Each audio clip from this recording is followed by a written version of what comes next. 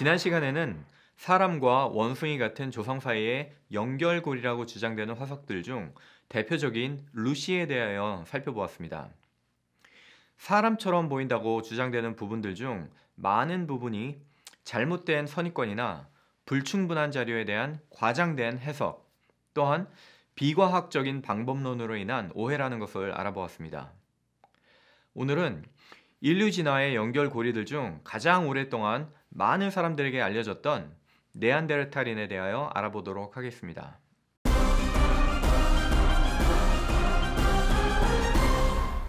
네안데르탈인은 1856년 독일의 뒤셀도르프에서 처음 발견되었습니다. 사람 이전 단계로 여겨지는 뼈들 중 최초로 발견된 뼈입니다.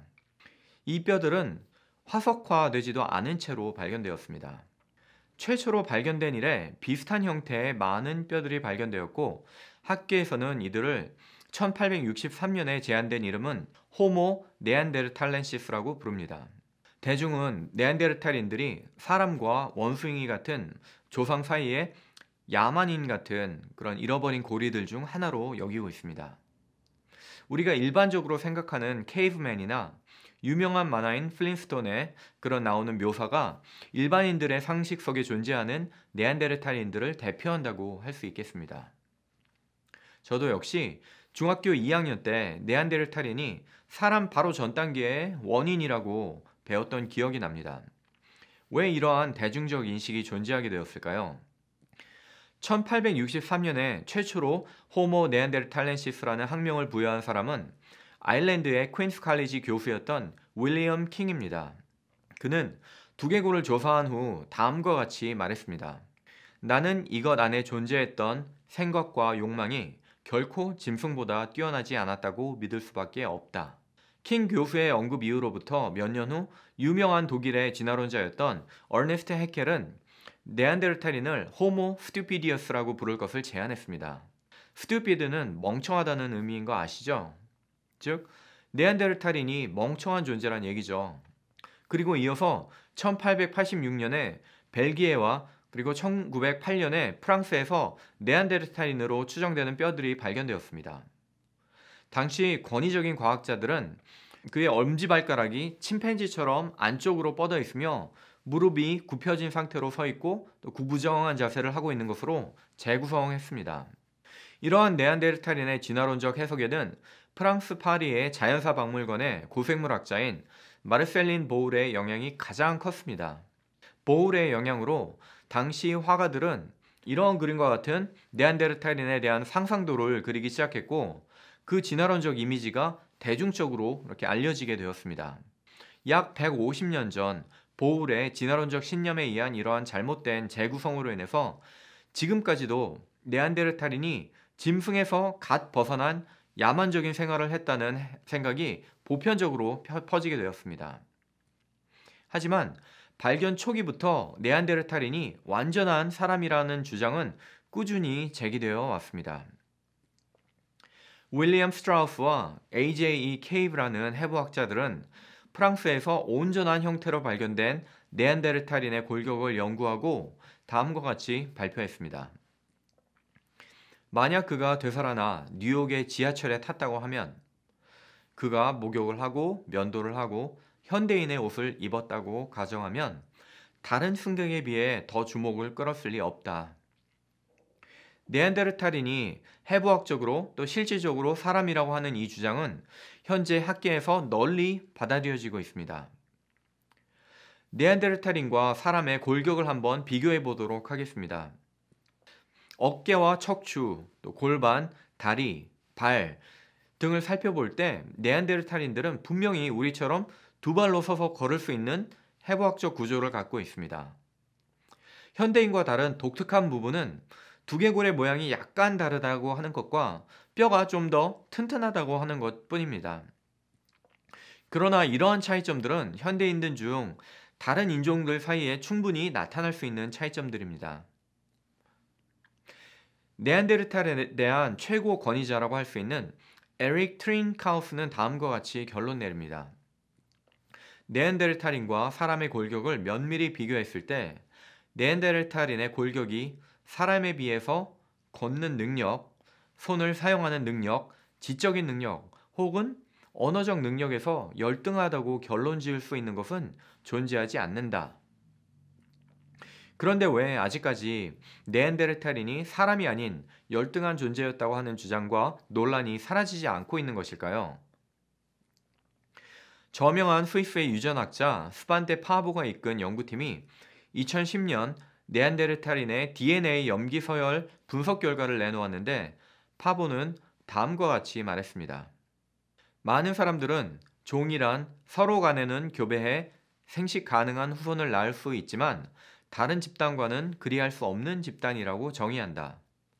그러한 점에서 우리는 네안데르탈인과 현대인이 같은 종이라고 하는 것을 보였다.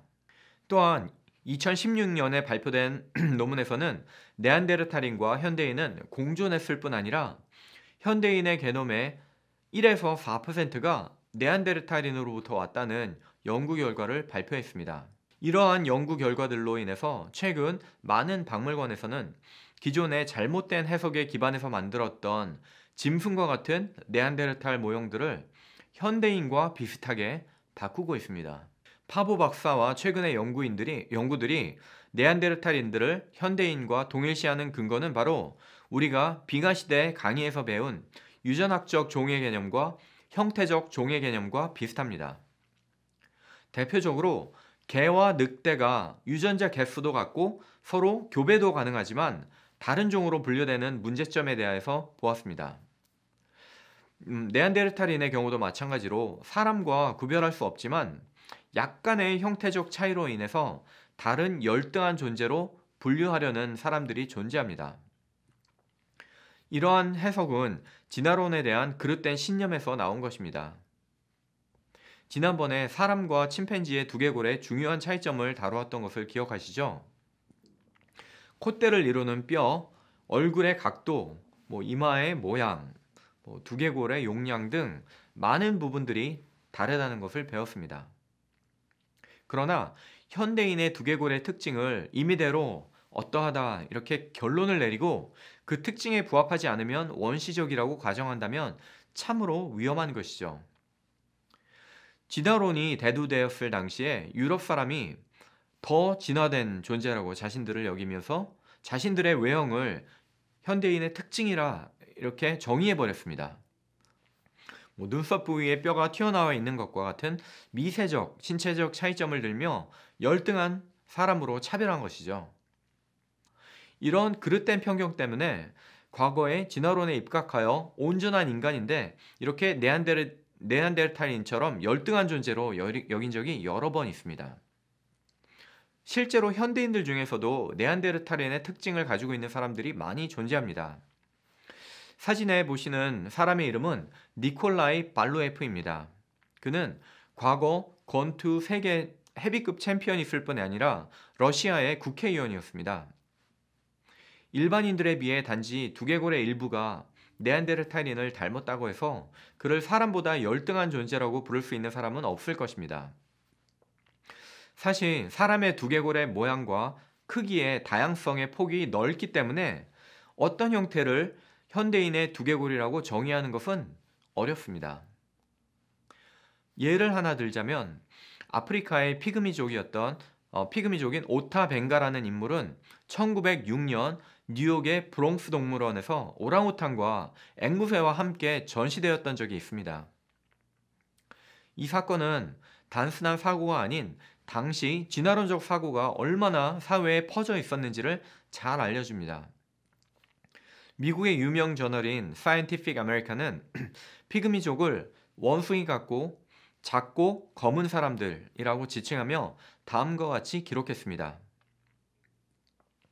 심지어 오늘날에도 원숭이 같은 니그로들은 어두운 숲속에서 발견된다.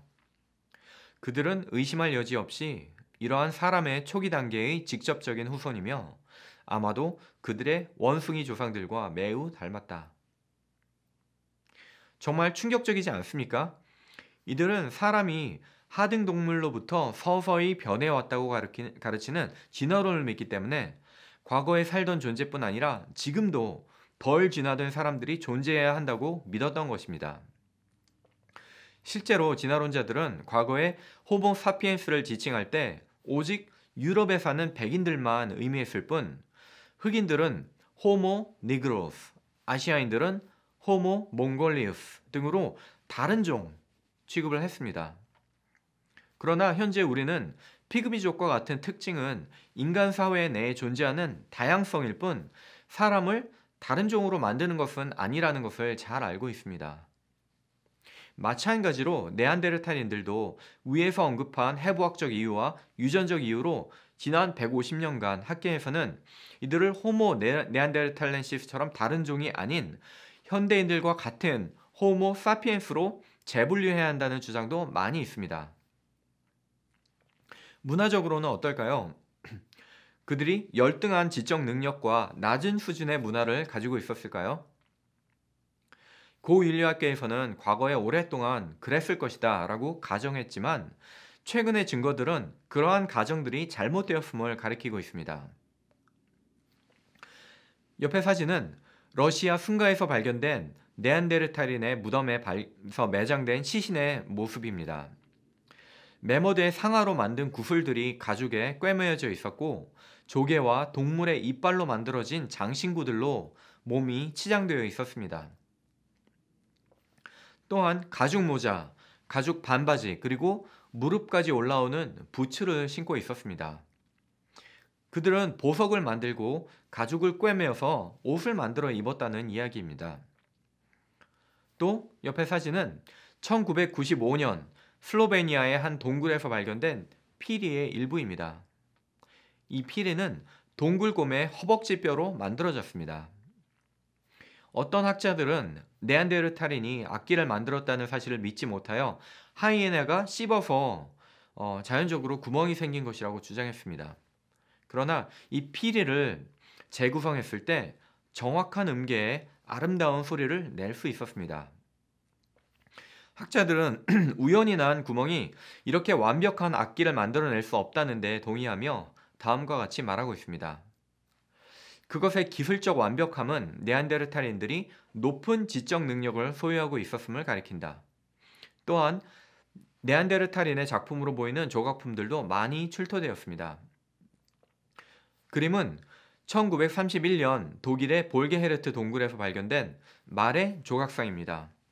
이 밖에도 메머드, 설표, 사자 등의 조각들도 함께 발견되었습니다. 네안데르탈인들이 음악, 음악뿐 아니라 미술에도 조예가 깊었음을 보여줍니다. 이들이 보여준 가장 놀라운 기술은 불을 조절해서 자작나무 껍질로부터 역청을 제조하는 능력입니다. 자작나무 역청은 자연적으로 나무에서 나오는 이렇게 송진과는 달리 섭씨 340도에서 400도 사이의 온도에서 산소가 없는 상태로 증류해서 만들어져야 합니다. 독일의 고고학자인 윌 로브렉은 다음과 같이 말했습니다. 이러한 작업은 네안데르탈인들이 불을 다루는 기술이 매우 뛰어났음을 보여준다. 우리는 그들보다 25만 년이 지난 후에도 그들이 어떻게 했는지를 배우고 있다. 이 밖에도 네안데르탈인들은 별자를 이용해서 원거리 항해를 했으며 언어를 사용했고 매머들을 잡을 정도의 뛰어난 사냥 실력을 가지고 있었습니다. 많은 네안데르탈 골격에는 부러진 팔과 다리, 깨진 두개골, 그리고 치아 염증을 다 치료한 흔적들을 가지고 있습니다. 그들은 항생제를 만드는 곰팡이균인 페니실리움을 섭취하기도 했습니다. 한 연구자는 다음과 같이 말했습니다. 부러진 다리와 같은 심각한 부상으로부터 회복되는 높은 수준은 그들이 단지 통증을 완화하기 위한 것뿐이 아니라 다시 건강해져서 그 사회의 일원으로 기능할 수 있도록 서로 협력하고 도우며 환자들을 돌봤다는 것을 가리킨다. 그들은 매우 뛰어난 의술을 가지고 있었을 뿐 아니라 우리와 똑같은 의식과 감정을 가지고 있었음을 알게 해주는 것입니다. 과연 사람 이하의 존재가 이런 행동들을 할 수 있었을까요? 또한 여러 곳에서 현대인과 네안데르탈인의 특징을 모두 가지고 있는 두개골이 발견되거나 현대인 모양의 두개골과 네안데르탈인의 두개골이 함께 발견되기도 합니다. 그리고 앞서 언급했던 대로 현대인의 게놈 중에서도 네안데르탈인의 DNA가 발견된다고 하는 점들을 종합, 종합해 볼 때 그들은 사람 이하의 존재도 아니고 사람 이전에 존재했던 존재도 아닌 우리와 오랫동안 공존한 그들만의 독특한 생김새와 문화를 가지고 있었던 사람이라는 것을 알 수 있습니다. 자, 이제 네안데르탈인에 대하여 성경 역사를 통해서 조명해 보겠습니다. 노아 홍수를 거치며 인구수는 8명으로 급격히 감소했다는 것을 배웠습니다. 그 후 여러 민족들이 노아의 후손들로부터 이렇게 생겨나게 되었습니다. 성경의 역사가 사실이라면 네안데르탈인들도 분명 그들 중 하나였을 것입니다. 그리고 그들이 살았던 무대는 처음에는 살기 좋은 흡윤 사막이었지만 나중에는 빙하로 뒤덮인 곳들 주변이었을 것입니다. 그들은 살아남기 위해서 매머드와 같은 큰 동물들을 사냥 해야만 했고 추위와 또 위험을 피해서 동굴에서 생활해야만 했을 것입니다. 몇몇 네안데르탈인의 화석에서 척추가 이렇게 구부러지고 다리가 휜 그런 모습을 보이기도 합니다. 그러나 이는 그들이 사람보다 열등한 존재여서가 아니라 빙하 시대에 고위도 지방에서 살면서 햇빛 부족으로 비타민 D 결핍으로 인한 질병을 앓았던 것으로 보입니다. 성경적 역사와 발견된 정황들을 고려할 때 네안데르탈인들은 빙하 시대 때 살던 사람으로 보여집니다.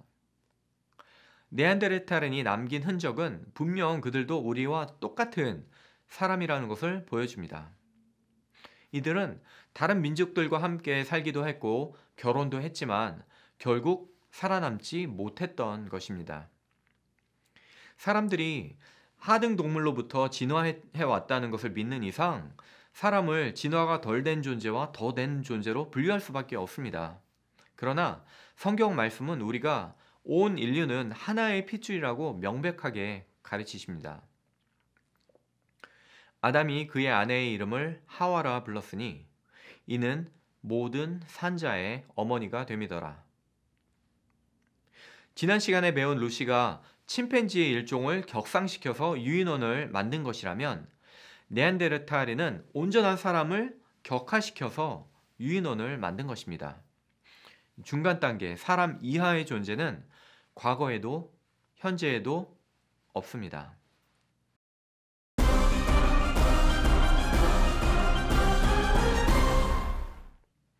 진화론적 오래된 연대로는 설명이 되지 않고 많은 미스테리였던 네안데르탈인이 성경 역사를 토대로 이해하니까 너무 쉽게 풀리는 것입니다.